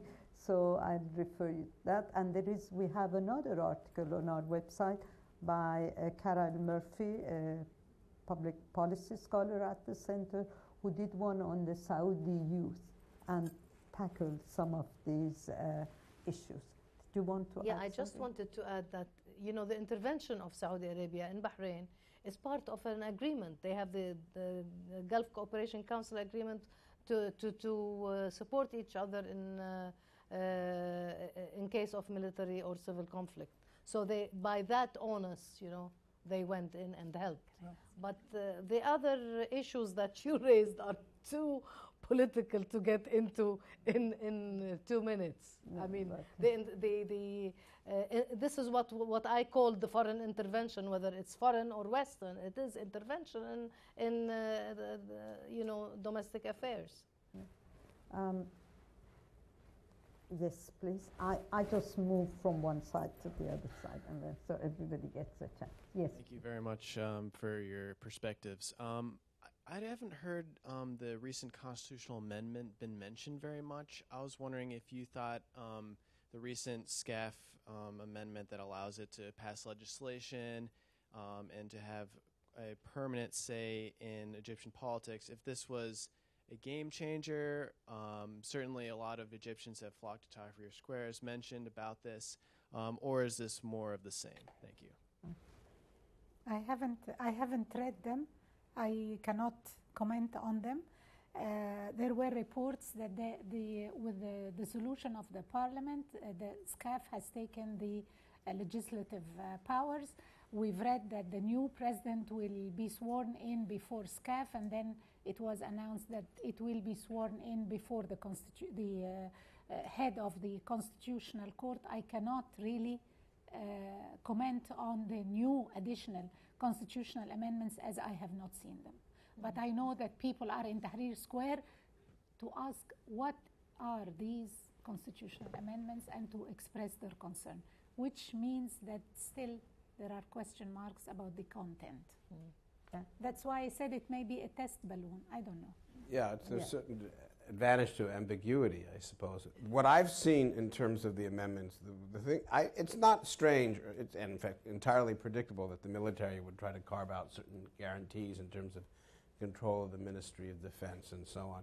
What I found disconcerting were the two amendments relating to Article 60 of the current Constitution of Egypt, whatever constitution that is. It's you know the three or four constitutions that seem to be operating at, at, in the making it at once.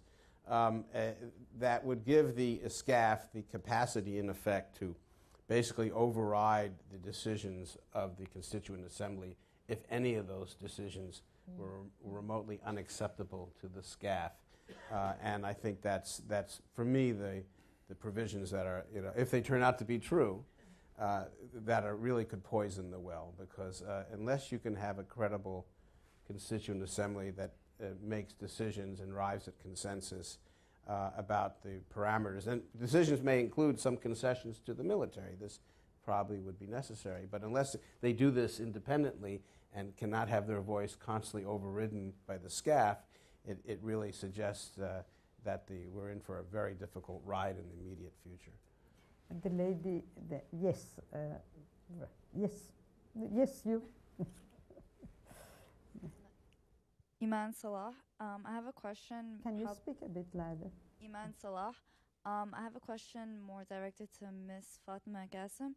Um, you talked about political parties, and since we talked a little bit about Syria and how a lot of people assume it's either civil war or genocide happening happening in Syria, but a lot of people are concerned that what's going on, the conflict in Syria, is spilling over to Lebanon, and how in Lebanon there's about 17 political parties that all address to religious political groups. Do you think that could be a conflict of other countries that kind of implement these political parties in the government by addressing it to religious groups, or do you think that would help the population within Arab countries?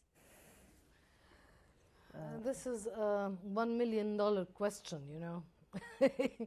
um, political parties play an important role, but they have in in uh, uh, in political reform. Let's put it that way, if that exists. But your one of uh, part of your question is whether the uh, events in Syria will spill over in uh, into Lebanon. This is a, a direct threat. I mean, all of us are aware that this could happen. They're trying. The government in uh, Lebanon is trying to contain this in more ways than one. But you know, there is the opposition in, in Lebanon, and the opposition mi- might be supporting the uh, opposition in uh, Syria. This is the, what they're claiming, and, and it's in the open. So uh, this cannot be uh, contained. and um, political parties are r- with varying religiosities in uh, uh, Lebanon are transforming and they see eye to eye with the events and they don't want any more civil war in Lebanon. You know, Lebanon has had, according to the Lebanese, has had its share of wars. 15 years is more than enough. So, as we say in, in, uh, uh, in Egypt, Rabbina Yustur. Uh, yes.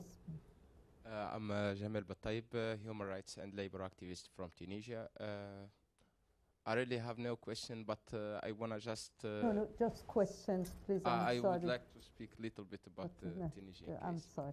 No problem. Uh, so sorry. Just uh, a question. Barbara, here and then here. Yes. And then. Barbara Slavin from the Atlantic Council and al-monitor.com. Um, just, Musher, if, if, you, if I could follow up a little bit, you talked about the economy and how important it is. What should the United States and other countries, Western countries, be doing to help shore up the economy? And there's, there's the question of military aid, the 1.3 billion that the U.S. gives every year, and some concern that, you know, this is a blank check suggestions that it, it should not be given, that it shouldn't be given to the military. Would you use that as leverage to try to make sure that uh, that the military does not monopolize and take over from uh, the revolution? Thanks. Thank you very much, uh, Barbara. This is a very important question. question. And um, it's interestingly enough, there were calls in Egypt to put an end to American aid. They said, we don't want aid from the United States. It's a long story about the system of the aid, how you provide aid. Uh, I can speak about the aid that goes to NGOs and to human issues. It needs to be restructured. A lot of money goes into administrative issues and it goes to the contractor. And what ends up with the beneficiaries is peanuts. So there was really a call to put an end to this aid and focus on trade, not aid. So if you encourage exports to be uh, competitive, there is a lot of uh, problems on, on encouraging exports. Investing in education. Education in Egypt is the thing that will make it or break it for the population. All the assets are human assets in Egypt, and the biggest uh, drain is in education. The money spent on education does not bring any return because the quality of education is miserable. And that's what really why I like what Thomas Friedman wrote on the 18th of June. Rote learning, no life skills in schools. Uh, you have to reform education. And I have followed some, I, I'm working in the field. I have followed some uh, uh, programs. This piloting, you know, to make a pilot project on a small number of, of, of people in a remote locality and then write a magnificent report and make a very elegant publication is not the solution. Make sure that you have a system that applies to all. Uh, improve the infrastructure, teacher training, uh, allow critical thinking. This is crucial. Improve because the, the, the increase in number of students every year in schools make the class sometimes 100 120 and the teacher is not trained no. So invest in education but with a vision because currently there is no vision. Neither before the revolution nor after the revolution. And education has never been a priority. You don't give it lip service but really improve the quality of education. This is the, the, the best investment with the highest return in economic terms. And we are going, I'm sorry, we are going uh, to take two last questions together because we have four minutes and then we'll stop. Brief questions, yes, please. And then the lady right behind you. Yeah. My name's uh, Gregory Galgan. I'm with the Department of Please. State. Um, the panelists, I think, have spoken with some positive, um, uh, positive views about the future of Tunisia and Egypt, but no one has mentioned Libya. And Libyan elections are in two weeks. And when I look at Libya, I see certain advantages economically in terms of population homogeneity, but also key deficiencies with respect to institutions.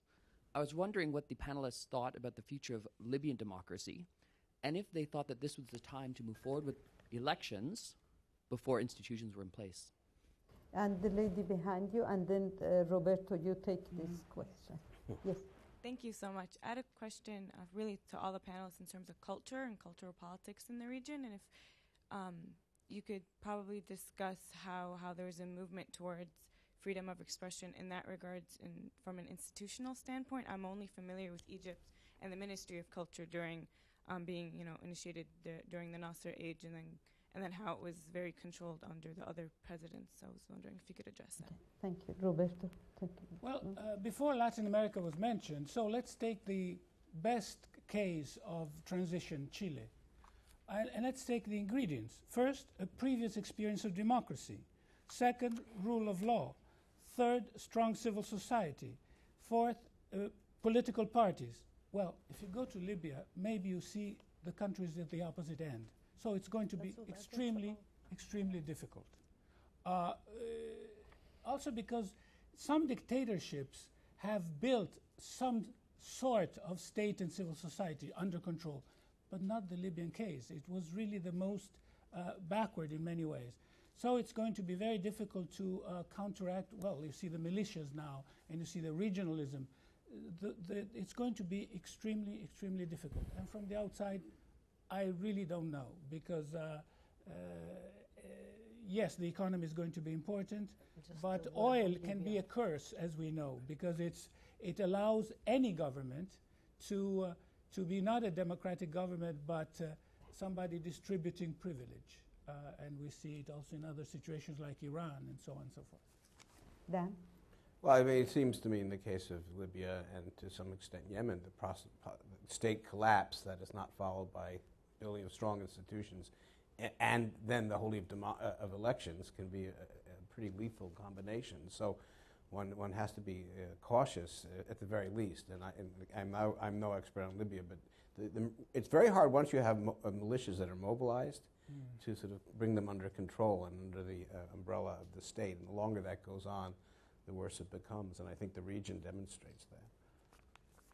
Fatima, you have I have that? two, po- two points. Uh, The one thing is that in Libya and, and in Yemen, they have, true, they don't have political, uh, they don't have institutions in place. That's very true.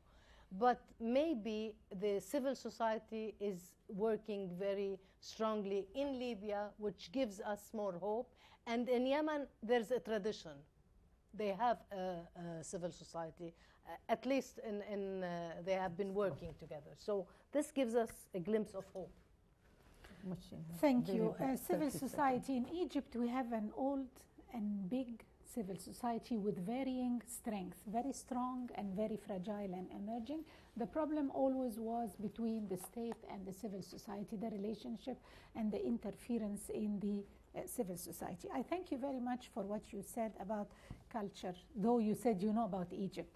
I want to tell you that right now, artists in all kinds writers, uh, journalists, uh, uh, actresses uh, they all formed a united front facing the political Islam because they want to maintain freedom of expression and uh, artistic expression, which they we have seen many alarming signs of uh, uh, calling some people atheists because they put a certain sentence in a, in a story or, or, or something like this.